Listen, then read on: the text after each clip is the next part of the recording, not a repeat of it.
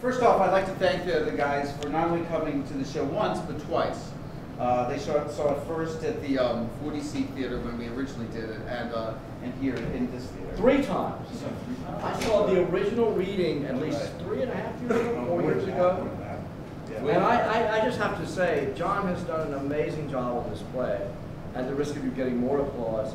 But the, the first time I saw it, I didn't think there was a play here. I mean, it was a, a lot of the history and everything, and you could kind of see what he was going for, but it wasn't really working.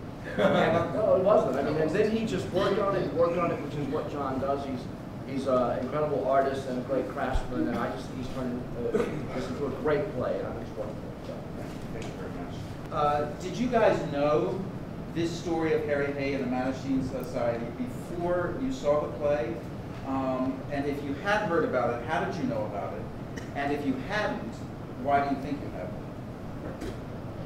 I had heard the, of the Mattachine Society and knew that it was some gay organization, but I didn't, I didn't know the story at all.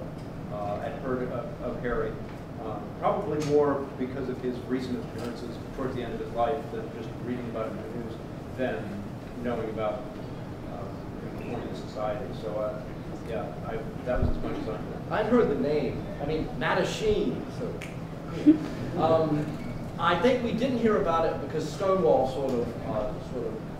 That's all you really heard about in terms of the history of gay rights, and uh, also it was really more of a West Coast phenomenon, right? Yeah. So we were on the East Coast. And we're too young.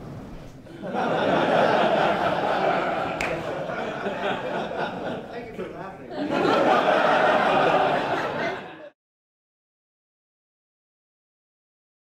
Because Brian and I had a discussion um, after seeing the play about how much things have changed and how much things haven't changed. And uh, that discussion reminds me of how much things haven't changed because one of the big questions people always ask is, well, did you come out? When have you come out? Did you? Are you going to come out? And the answer is, you come out every single day. It is a joke to say, oh, someone came out because you only came out to the people who heard it. And uh, the fact that Brian and I, from our first day of work, like in, uh, on Frasier or wherever on television, every single person we worked with, every single person who lived near us, everybody knew. We were very open. We, were, we, we didn't want to, to lie about that. But to a large segment of the country, that was meaningless we weren't doing our job as homosexuals because we hadn't made an announcement on television, or we hadn't made the right announcement television, or we hadn't had, and that's just the reality of being gay. Every time you meet someone who hasn't met you before and didn't happen to read the paper, or God forbid, didn't watch television, uh, you gotta tell them. And it's, and you're coming out again. And for people of our generation, not like my nephew's generation people, for our generation, there's still that speed bump. It gets easier each time, but there's still the speed bump that you see in this play, Right. so many years ago, ancient history, or tomorrow, Or the you're next sitting time I on an airplane and the person next to you says, "Are you married?"